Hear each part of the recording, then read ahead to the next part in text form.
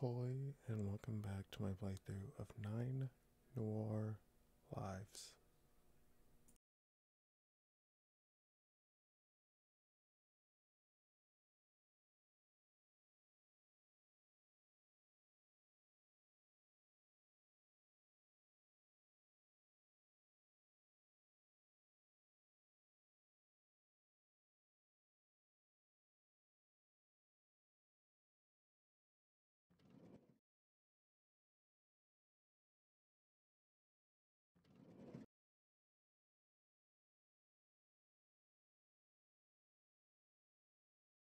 Such wonderful books. Cuddles has a collection too, but they're pretty much all about investigating or food. These are about everything. If I start poking around with these, I'll never get anything else done. Some of these are almost a 100 years old. Licking them would destroy the covers.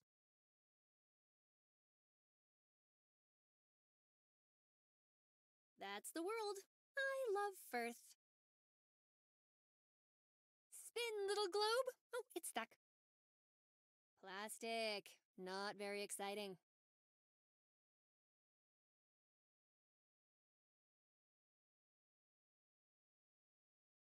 That must be where the microfilm reels are kept.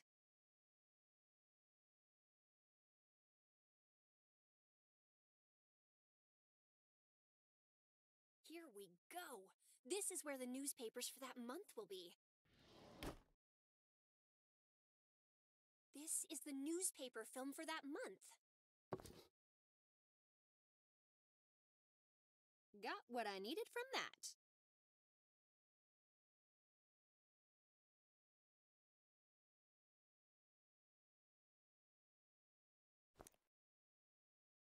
A spool of microfilm. I'll need help to see what's on this.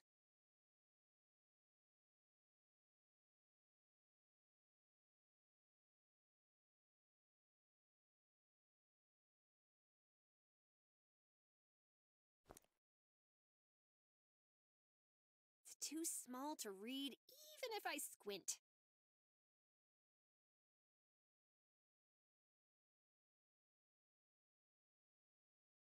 Those don't go together. Hmm, I don't think anyone's used this machine in years. the light bulb needs to be replaced.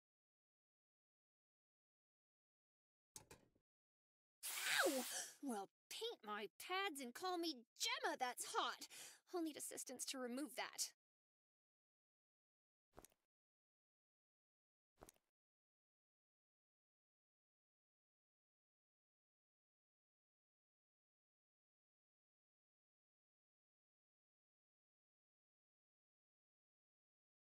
That's a big window. There's a latch at the top. Short, kitty arms can't reach.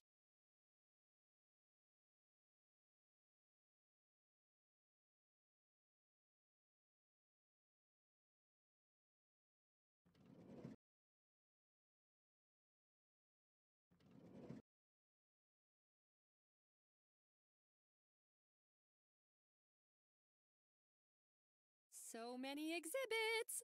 Let's see what they all are.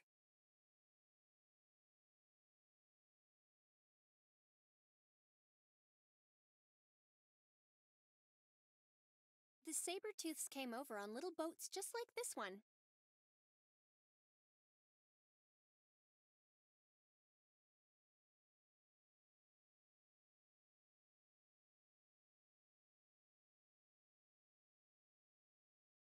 It's a painting of Havelock Gersmuchen, the inventor of the telephone book. Such an annoying cat. It's his fault we use symbols instead of numbers like other countries. He thought they looked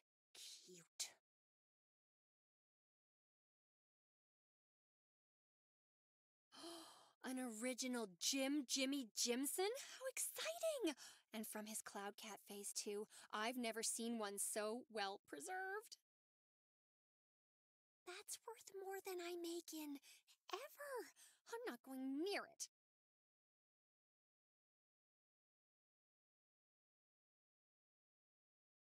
Our ancestors had really scary teeth. That's a real spear. Wow. They're longer than I would have thought. I'm just gonna borrow this, Mr. Tooth. I'll be sure to put it back.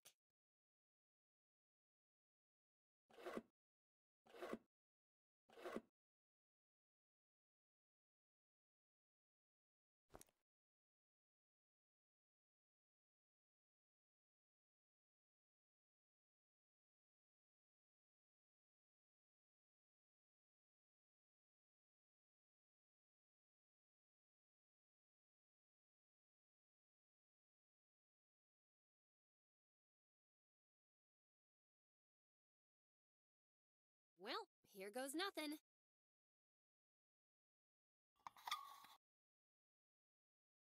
Whoops. Oh, gosh. I really thought that would have been attached more firmly. Oh, gosh.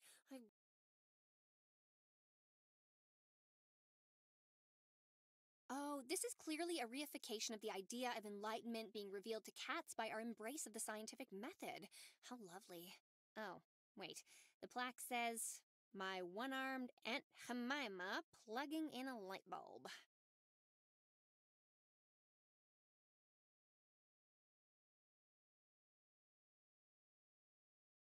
Towels are massively useful, but maybe later.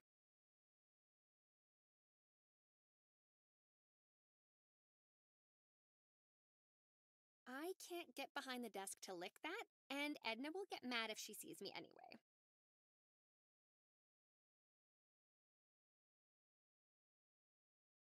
Edna, the bulb in the microfilm reader is very old and faint. Do you have a spare?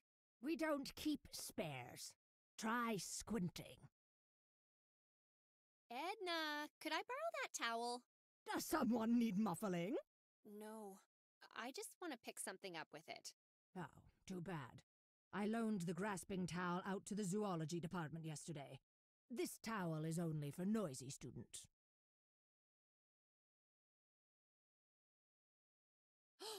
I need the muffling towel. There are noisy students in the library. I don't hear anything.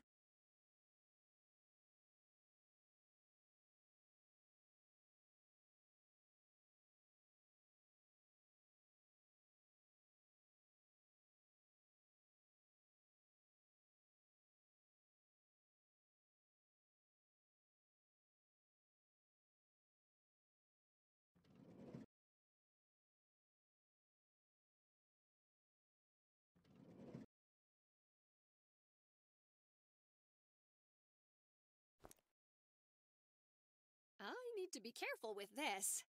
It is a weapon, after all.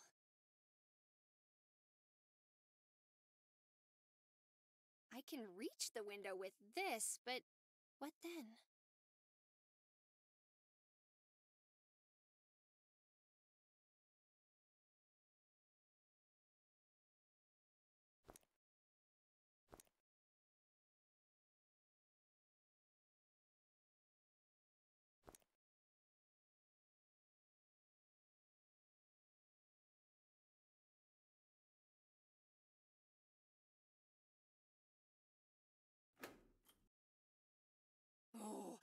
Fun festive sounds are coming in from outside now.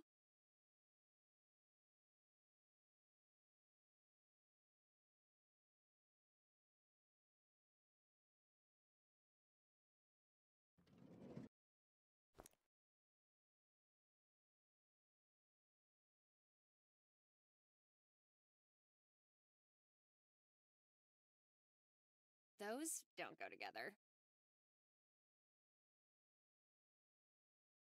If they can stop a jaw, they can stop a door, as Mom used to say. Huh, they'll definitely keep the doors open. This should keep those pesky doors open. I'll pick up the girls before I leave.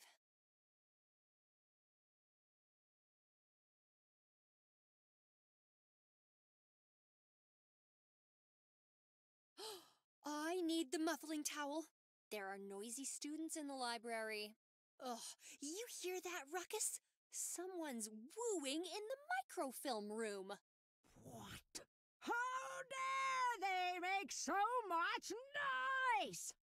They need to be taught a lesson, you're right.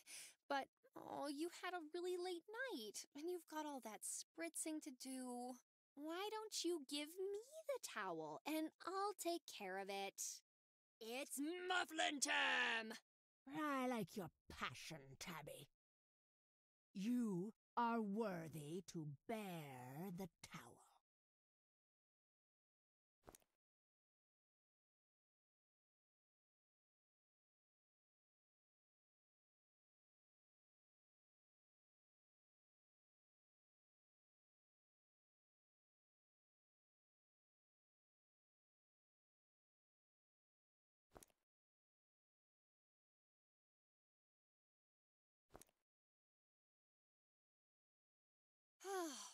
I can grab it. Nobody's gonna have use for a burnt out light bulb. I'll just get rid of it.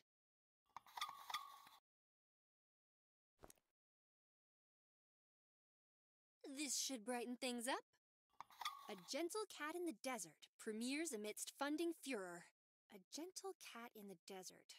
The hotly anticipated film from veteran director Hashtub Jack Spiker premiered with much fanfare at the Gibbon Theatre last night, with big celebrities, including Potter Lee, the famed auteur, in attendance. But no eyes were on Potter last night. Amid a flurry of controversy around the financing of the movie, Bartholomew Montague, local actor and star of the film, walked down the red carpet with a mysterious but very pregnant cat on his arm. Bartholomew laughed away the accusations that the movie was sponsored by mob money, stating it was nothing more than jealous rumors. He was less blase when asked about the lackluster critical reception of the movie. Critics have lambasted the movie for substandard acting, ooh, direction, and writing, uh, and say that MMF film industry cannot expect to grow with productions of this quality. A Gentle Cat in the Desert is likely to be one of the biggest flops of the year. Ooh. So Bartholomew was a movie star. Interesting. I wonder who the lady that accompanied him was. I'd better get a printout of this. This should be enough for Cuddles. Better grab the girls and get back to the office. Shame. I wonder if he's still sleeping.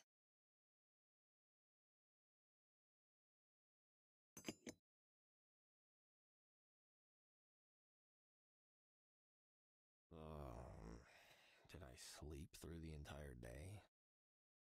I had a dream last night, Ramon. I was in a forest, running away from mushrooms. Toadstools with stubby little toadstool legs chasing me through the trees. They had tiny, sharpened sticks in their hands, and they were yelling at me with their cute mushroom mouths. It, it was adorable, but I was terrified. What could it mean? Good evening, sir. Tabby, what are you still doing here at this time of night? You were passed out, sir. I wanted to be sure you were all right after your encounter.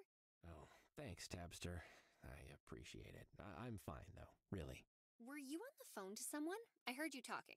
Hmm? Oh, no, I was just telling Ramon about my weird dream. I was running away from armed toadstools in a forest, and I think my feet were made of rubber. Do you think it means something? Oh, did you eat any camembert before you went to sleep? You know how cheese affects you. I don't think so.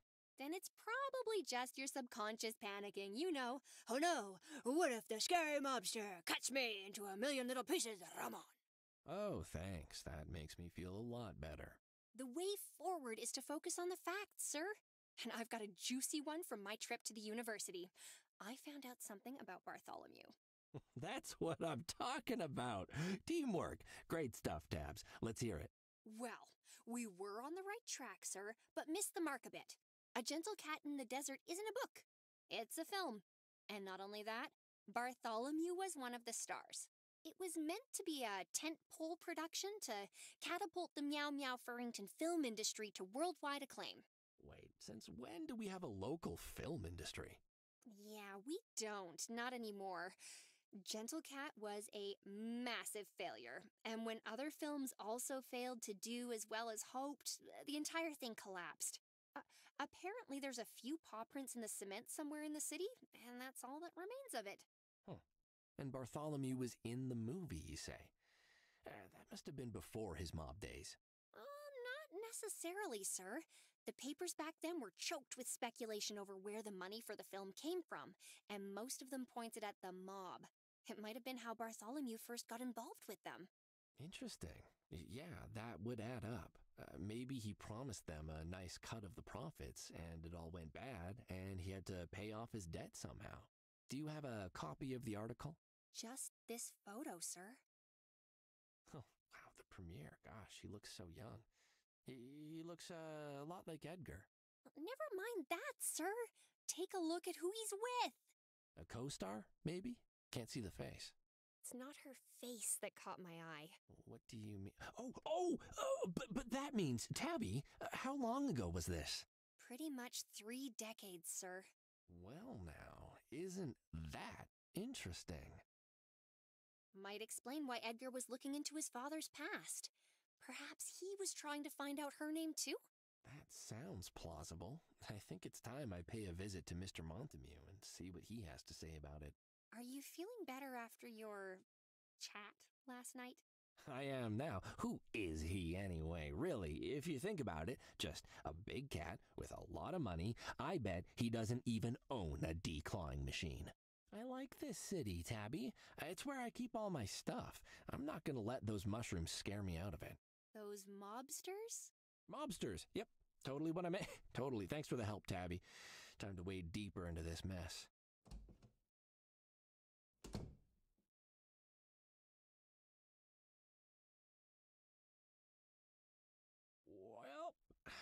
Can't put it off any longer. I'm heading to Bartholomew. Good luck, sir. And be careful. I'll wait here until you get back. Thank you, Tabby. If you don't see me again by tomorrow, tell the police to look for me in Bartholomew's basement, I guess.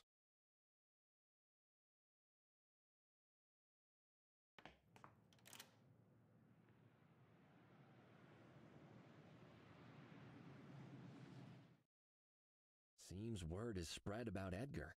Looks like he knew quite a lot of people.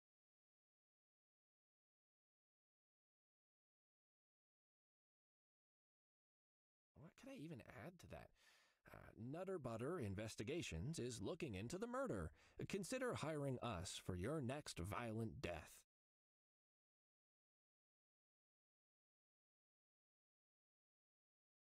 Uh, the funeral for Edgar Montague will be held. Uh, I can't attend. I don't think mob families like law enforcement showing up at their personal events.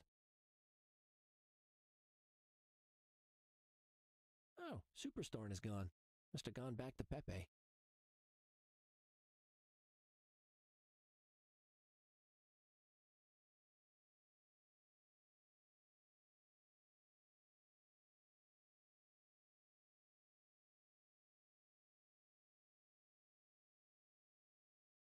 Matter who you were, it seems someone cared for you.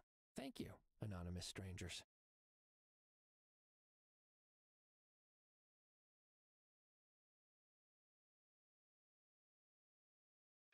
Ah, locked. Pepe and Thorn must be out distributing pamphlets.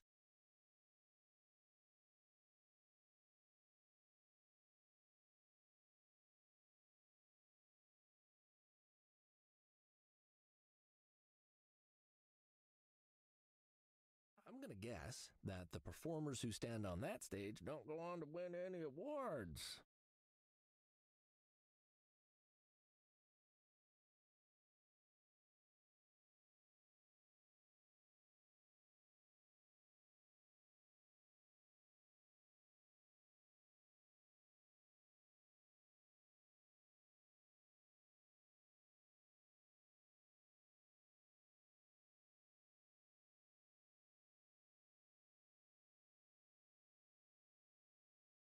Menagerie of sprays, ointments, and whatever's in that jar. Is that jam?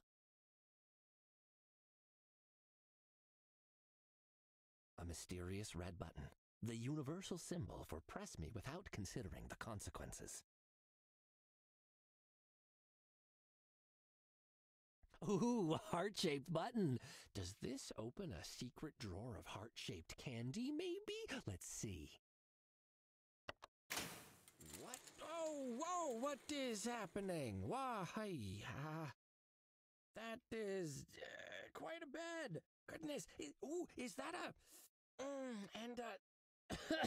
oh, oh, oh, wait, yes. Well,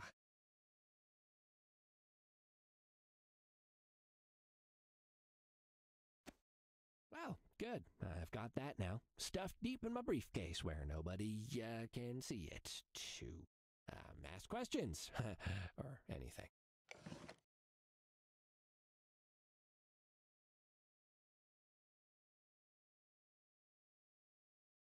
Pose and pose and twirl and mwah, stunning cuddles.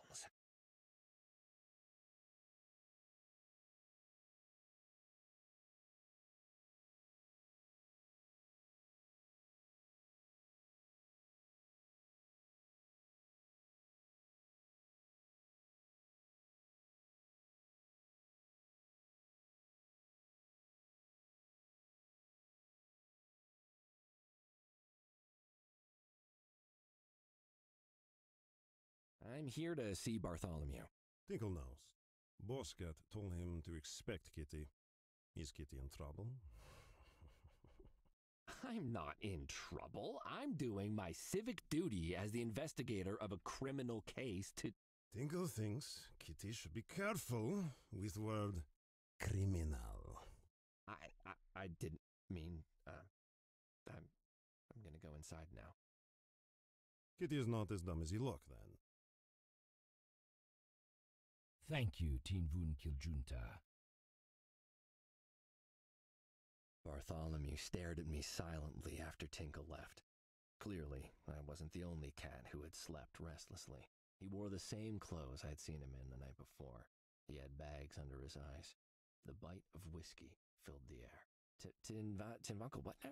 Did you think his parents named him Tinkle? It's only this foolish city that still cleaves to the stupid tradition of giving children sappy names. He merely got tired of nobody in the city pronouncing it properly, so he shortened it. I, I, I see, so I guess you could say he crushed it. hey. The flat stare I got told me that my attempt at comedy was not appreciated. Thankfully, he changed the topic, sparing me from more awkwardness. Do you believe that a son should pay for the sins of his father, Nutter Butter? I don't believe that anyone should pay for someone else's mistakes, especially if the price is death, but the world is an unfair place. Ah, and it is your job to make it fair? No, no. My job is to try. How noble. Your clients must find you a delight with your self deprecating humility righteous words, and penchant for irreverent comedy. But what of family, Nutter Butter? Can justice be served when your sin is your bloodline? It can always be served. Sins aren't found in blood. They're found in actions. They, they can be traced to those who performed them and used as evidence to hold them to account. The big cat's keen gaze unnerved me. I had been ready to be yelled at again, threatened, even ignored, but not whatever this was. Interrogated, conversed with. So, do you believe that my son was killed because of me? Because of the actions I took? I, I don't have enough information to say yet. Have you done anything recently that would have given someone a revenge motive? Any overdue parking tickets, just for example? He did not like that. Not at all. His eyes narrowed, and one side of his mouth rose in a snarl to reveal bone white canines embedded in blood pink gums. Does this strike you as a time for levity, Nutter Butter? You wield your graceless wit like a dulled blade, probing for what? Information? Weakness? Guilt? Spare me the deflections and tell me, have you considered what I told you last night. He used his words like bludgeons. The bigger, the better. That was fine. I could talk a lot too, and I'd read all the books on my bookshelf. I knew words. I have considered it, Mr. Montague, at length, but you're not the first cat to threaten me, and I have no doubt the last either. So if you think I'm going to roll over the moment someone bigger than me bares his fangs, I need you to understand all cats are bigger than me. I won't be your lap cat, Mr. Montague. I don't report to you, and I don't work for you. I won't slink to your side the moment you snap your fingers. You don't like my jokes. That's fair. Black humor is far from rare in my line of work, but I can understand it turning your nose at a time like this. But I'm not going to stop being who I am for you. I'm a PI and not a police cat because I value my independence no matter which side of the law I'm dealing with. I told you last night that I would find your son's killer, and I stand by that. I swear it, even on Edgar. I was ready to die right then, for Tinkle to burst in and turn me into wet red kibble with his gargantuan paws, but it had to be said. I couldn't have done the case under pretense. He needed to know who he was dealing with. And, at last, it seemed he did. You surprise me, Nutter but do not use his name like that ever again. Uh, Very well. Do you have any information for me? I had to wet my tongue before I could continue. Out of the frying pan, into the mobster fire. There are a few pieces of evidence I'd like to discuss with you, yes, but last night's interaction was heated, and I would like to avoid a repeat. We may, we will be discussing unpleasant topics. Do I have your assurance that you will remain as collected as you are now? Collected. Yes, I will be as collected as I am now. I will nod and smile and pretend that I do not feel crippled by the loss whenever I think of my son, or filled with unquenchable rage to punish his killer. Your mother should have taught you not to judge a cat by the shine of his coat, Nutter Butter. My pain is vast. It would swallow you, and you would drown in it, alone and forgotten, mewling forever. I am not collected. I am enraged. I stared into eyes that burned like holes into a place beyond the world. A terrible place. And then he blinked, and they were simply eyes again. But my suffering will not aid you in finding the murderer.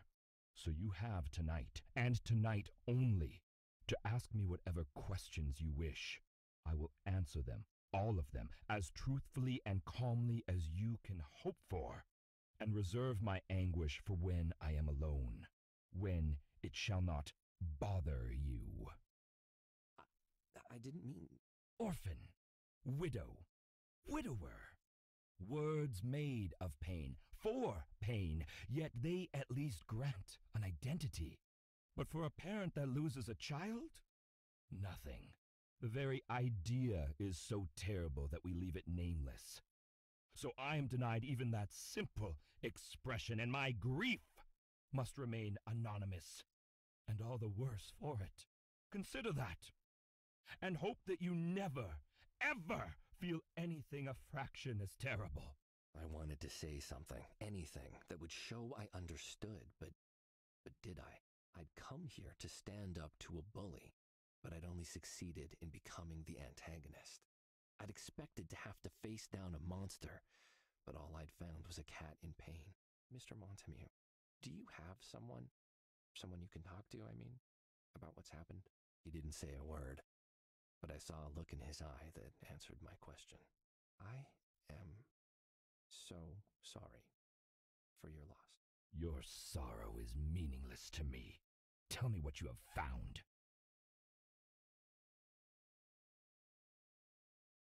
I found this business card on your son's body. Do you know where it's from? Celestine, Who's that? a mercenary of a cat. That's his business card. He owns the establishment, a venue that myself and other cats like me use as neutral ground. but I've only ever gone there with Tinvun Kiljunta. Edgar knew of it, certainly, but he never expressed the slightest interest. Worth following up on? If Edgar was there, that tricky two color cat would definitely have taken note, if only to find a way to exploit it to his own ends. Oh, I'll pay him a visit then. Can I have the address? You'll find them not far from here, across Herod Bridge, in Cabacon Street. Your son made a note of something. He, he seemed quite keen to keep it a secret. A Gentle Cat in the Desert. A movie title, it would seem. We did some poking around and discovered that you have an interesting history. An actor. I, I would never have guessed. Am I the first actor you've met, Nuttabutter? You seem disbelieving that we exist. Oh, you exist, but you don't advertise the fact either. Uh, Did Edgar know of your previous occupation before recently? I mean, I don't think so. I never brought it up. It was so long ago, and I didn't want him to.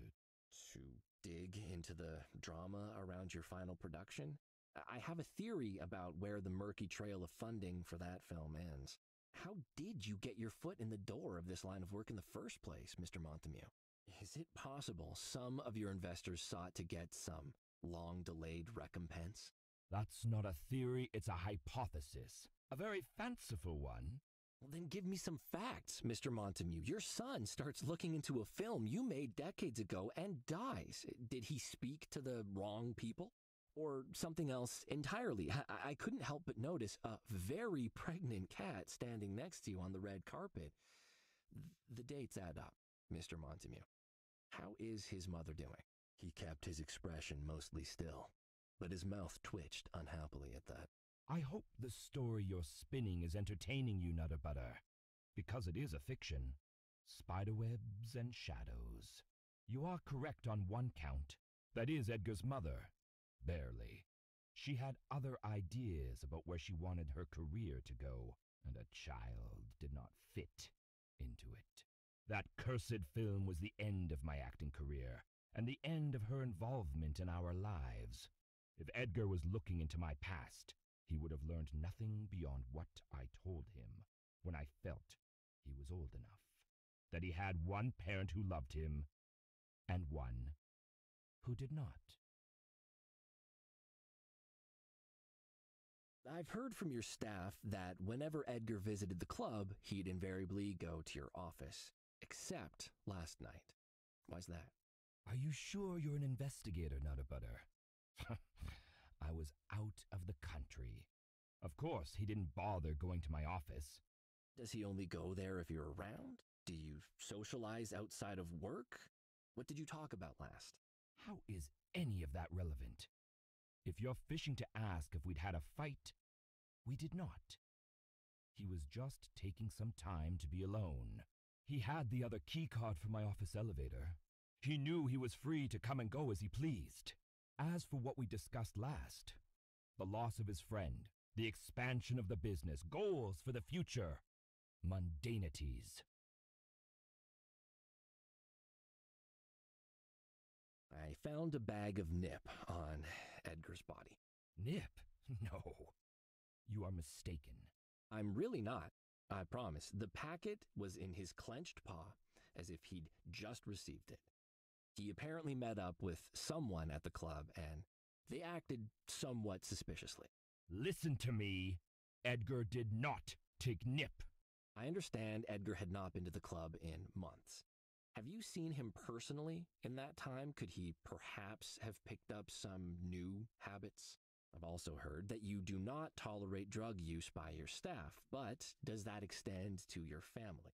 It's not as simple to fire a son as it is an entertainer. Ah, for example. Is that a reference to Platy and her unseemly dependency? Yes, I know of it. She doesn't hide it nearly as well as she seems to think. But as long as what she takes comes in a bottle, served over a pharmacy counter, I don't care. When it starts coming in a bag, smuggled paw to paw in a dirty alleyway, then I take action. Uh, all right, but you still can't be certain Edgar wasn't indulging. How close were you two? Could he have been hiding it from you? Do you know any nip addicts, Nutterbutter? It's not something you tuck into a pocket and turn to when you have a free moment. It consumes your life. If Edgar was involved, I would know. And beyond that, he was distraught that a friend of his had died of an overdose, furious even. He had come to hate Nip as much as I do. Your staff have some theories about what happened. I'm sure they do. Tinkle didn't see anything odd, apart from Edgar even being at the club after such a long absence, but he did note that he seemed very upbeat. Did anything happen recently that might have improved his mood? Not that I'm aware of. But we had not spoken in a while. Miss Kitty says she heard Edgar coming back into the club later that evening, along with a cat she recognized the voice of, a big, mean type, she claims. I would not trust anything Platy claims to have seen or heard after 2 a.m. That's her indulgence time. What she sees or hears then is liable to get uh, confused. If you say so, but I, I did find a very large footprint next to Edgar's body, larger than anyone who works for you. Then investigate it. Do you need my permission? No, I. Uh, never mind. Finally, Pepe says he saw Mousezilla, but I think we can discount that. You might find Pepe's convictions ridiculous, but he is not insane or blind. He is loyal and trustworthy. Mousezilla is obviously not real, but if he says he saw something, I'd give him the benefit of the doubt. You must have accumulated quite the rogues gallery of enemies in this business, Mr. Montague. Can you think of anyone that might want revenge?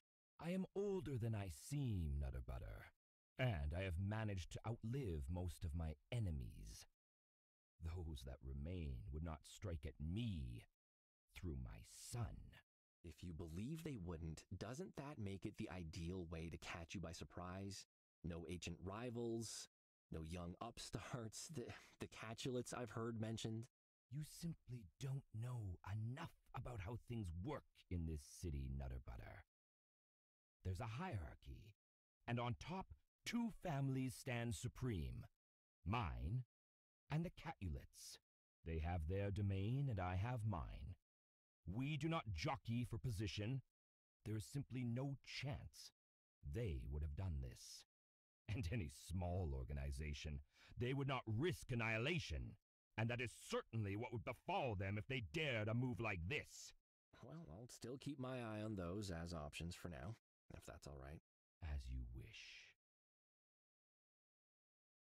Okay, that's all the information I have so far, Mr. Montague. Then I imagine you'll want to get back out there and start gathering more. You know where the door is, of course.